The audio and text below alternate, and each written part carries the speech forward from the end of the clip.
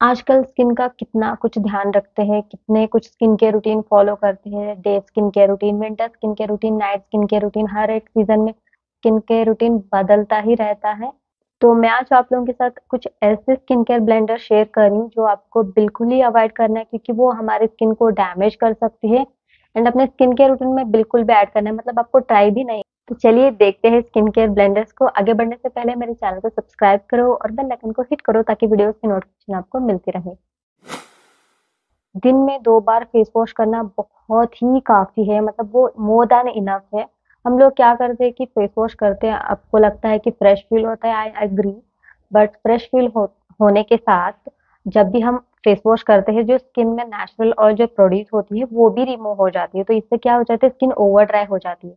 दिन में बस दो बार फेस वॉश करिए, वो काफ़ी है।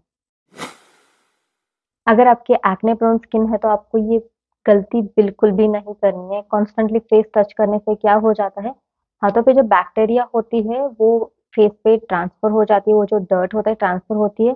तो इससे क्या हो जाता है? पिंपल्स हो जाते हैं। तो इसी तरीके से सिली सिली मिस्टेक की वजह से हमारे फेस पे पिंपल हो जाती है।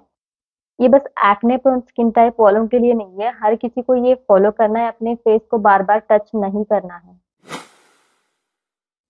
टाइम टू टाइम स्क्रबिंग करना फेस के लिए बहुत ही बेनिफिशियल तो है, लेकिन wrong product I mean wrong scrub use करने से आपका स्किन डैमेज हो जाती है। रॉन्ग प्रोडक्ट यूज़ करना मतलब जो स्क्रब आपकी स्किन को इरिटेशन कॉज करती है, उसे बिल्कुल भी यूज़ नहीं करना है एंड हार्श वे में आपको एक्सपोलेट नहीं करना है फेस को स्पेशली जो बहुत ही सेंसिटिव होती है एंड अलग अलग एक्सपोलियंट्स को एक ही टाइम पे यूज़ करना भी बहुत ही डैमेज करती है हमारी स्किन को। अगर आपने अपने स्किन केयर रूटीन में अभी तक एस ऐड नहीं किया तो मैं कहती हूँ, अभी उठो, चलो, निकलो और एस ऐड करना शुरू करो। मतलब यूज़ करना शुरू कर दो।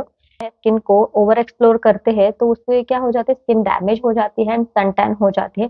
तो इससे रिमूव करने के लिए बहुत सारे डी यूज़ करना पड़ता है, वो भी इंस्टेंट रिज़ल्ट तो नहीं मिलता, आपको कॉन्स्टेंटली यूज़ करना पड़ता है, तब रिज़ल्ट आपके मिलता है। तो इससे अच्छा क्या होगा तो आप पहले से ही ध्यान रखना शुरू कर दो और जब भी आप बाहर जाते हो तो सनस्क्रीन यूज़ करना शुरू कर दो। After every two three years आपको सनस्क्रीन को अप्लाई करना है।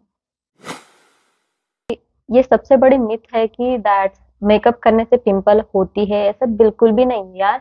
मतलब कितने सारे सेलिब्रिटीज रोज मतलब उनका काम ही नहीं चलता बिना मेकअप के। इसका मतलब ये थोड़ी है कि वो मेकअप यूज़ करते उसके, उनके फेस पे तो पिंपल दिखता ही नहीं है ना।